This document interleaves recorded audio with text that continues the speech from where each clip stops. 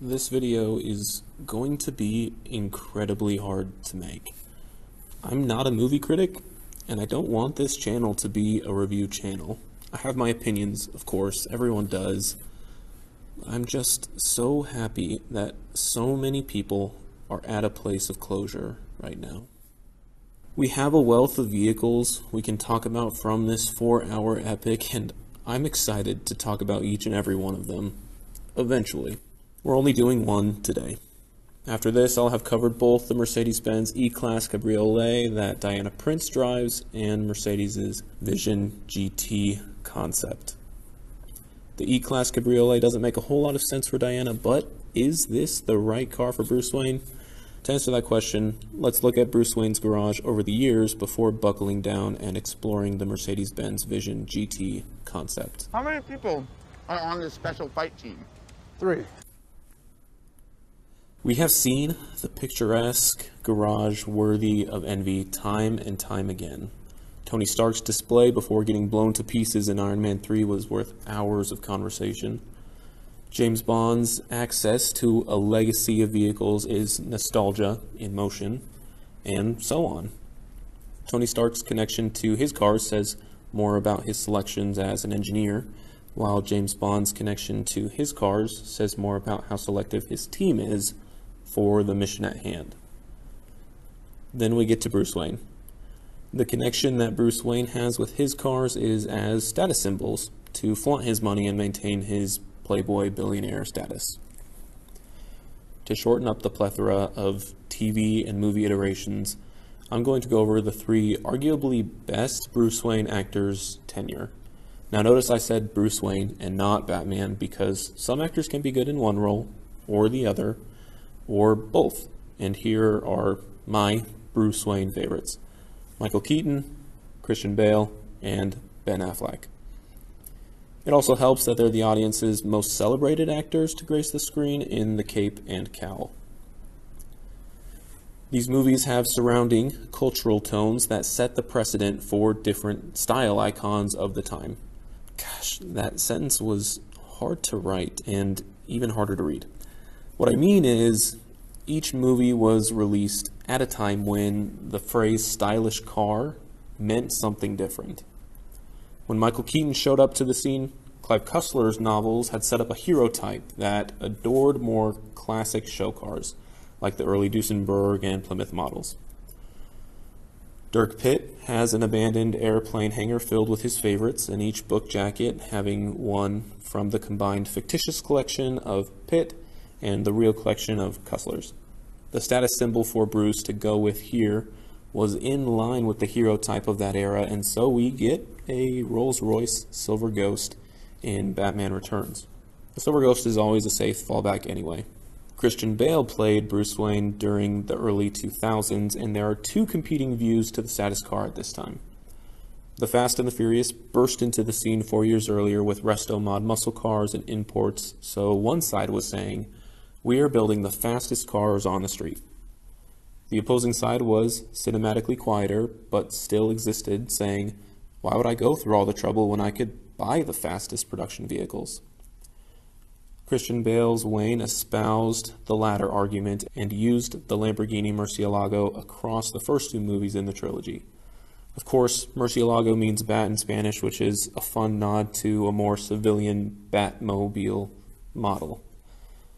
There were hints to more traditional wealth symbols like a Bentley and a Rolls Royce, but having the Tumbler be the large and in charge Batmobile made for a good juxtaposition against the sleek and elegant Murcielago as the non combative Batmobile.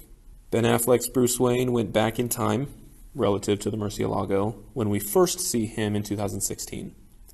The Aston Martin we see Bruce use to arrive at the fundraiser scene actually belongs to Zack Snyder himself. I could say and sort of force the point that James Bond was making a cinematic comeback and that Skyfall four years prior had reintroduced the famous Aston Martin back into the minds of movie audiences, and so it became a natural fit. But that's not the case. This car was Zack Snyder's first big dollar purchase after his entrance into the film industry a used car with high miles. He ended up spending $28,000 for it, and it's been in his garage ever since. It also made an appearance in Zack Snyder's Justice League when Superman returns to find Alfred working on it. And I think it's this reason that Zack chose to sport it as a Bruce Wayne garage piece. Because the duo of both Bruce Wayne and Alfred Pennyworth are an incredibly capable pairing when it comes to building up and maintaining the Bat arsenal. And this car, I think, is a meditative practice for them to set aside their work of superheroic endeavors and be in the moment. With Alfred's feeler gauge, a spark plug, and wrench next to his afternoon drink, he's decided to distract himself from the impending calamity should the League fail. The task at hand installing new spark plugs. But first, of course, he needs to ensure proper spark plug gap. And then we have Bruce has a fun history of buying things just for the sake of buying things. I'm buying this hotel. I bought the bank. So buying the exclusive lone model for the Mercedes-Benz Vision GT is a really cool riff off of this concept. Oh, no other person alive has this car or could ever have this car? I'm gonna buy that. It's also an extension of Bruce building the Batmobile, a one-of-a-kind vehicle for one purpose. Now, instead of chasing down bad guys, it's maintaining the image of wealth and extravagance. The Batmobile idea is something I love about Ben Affleck's version and I'm thoroughly excited for when it comes to Robert Pattinson's Batman. In comic history, our ultra gritty Bruce Wayne has developed, engineered, and built a fully one of a kind vehicle for the sole purpose of extending his Batman ability. It's one of the gripes I have about the Lucius Fox built Tumbler. It still works in the story, but gives less credence to Bruce Wayne's comic identity of being super focused and disciplined, achieving all of these builds on his own. But I'm waiting into a video I hope to make in the near future specifically about the Batmobiles of different Batwomen and men. Let's go back. Instead of chasing down bad guys, the Vision GT is more about the image of wealth. And this brings up an interesting question not about Justice League, but about Batman v Superman. Both of these are sponsored movies. They have to be with the budget that they require. FCA lends its cars' image to BVS, while Mercedes Benz lends their car's image to Justice League.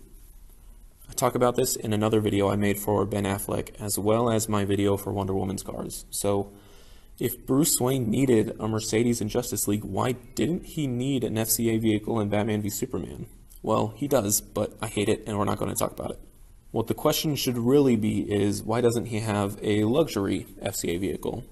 Diana Prince gets the perfectly chosen Alfa Romeo 4C, and there are still a lot of options to come from the FCA list of brands.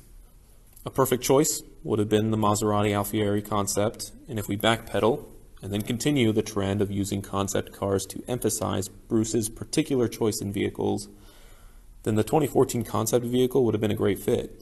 But instead we have an Aston Martin and a Mercedes-Benz. Why? I think it's all behind the scenes personally. The Aston Martin in BVS means a lot to the director, and that movie, with all of its chase scenes and city destruction, fills whatever quota is FCA enforced by showcasing Dodge, Chrysler, Jeep, Alfa Romeo, Fiat, all the heavy hitters for the global car company. Then you need to transition to another movie and another car brand with less global nameplates. But Mercedes has this amazing Vision GT concept that can be retrofitted for Bruce Wayne's character I love the Aston Martin, and I love the Vision GT. They fit as extensions to the character and again present two sides the capable and disciplined engineer and the extravagant billionaire. To finish this out, I'm going to give the reins over to Zack Snyder and everyone talking about Zack Snyder's decision for this car. I'm being stingy with who I give the reins over to because producers don't really deserve any credit when it comes to this movie. Anyway, here you go, Zack. All right, I like it. Let's film it. Then we shoot rockets, right? Like after we have this conversation. And that's really all the dialogue you need, right? But for real, Mercedes developed this car for a video game. Then a director comes along and says, Hey, I like this car. Will you build it for my Bruce Wayne?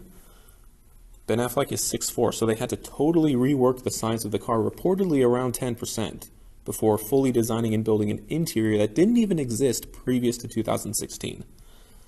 A lot of money went into this one car, and it's been talked about time and time again by both people inside and outside of the industry. It's the status symbol that Bruce Wayne is looking for while also being worthy of transporting the fastest man alive.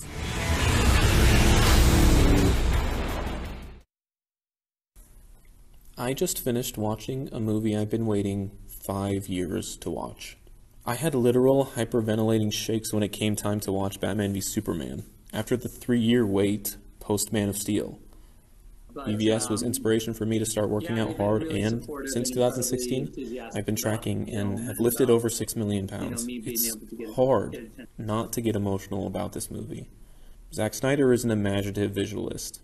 There's no other words about it. His movies are like none other, and the decisions that he makes, while sometimes silly, like the E Class for Diana, they shine through in visceral ways. Did Zack Snyder fulfill the question in this video series? Is the Mercedes Benz Vision GT the right vehicle for the character of Bruce Wayne? The answer is unequivocally yes. Thank you for watching. This video was particularly fun to make. And I feel like this is how it should be done too, just one at a time. And so I'm sorry for including five cars in the Wonder Woman video. It's still good, but I think one at a time is optimal for giving the cars the focus they deserve. If you have another car you'd like me to analyze, let me know in the comments below. If you liked this, then hit the thumbs up button and make sure to subscribe because there's more of these videos dropping every week. Thanks again, and I'll see you guys in the next one.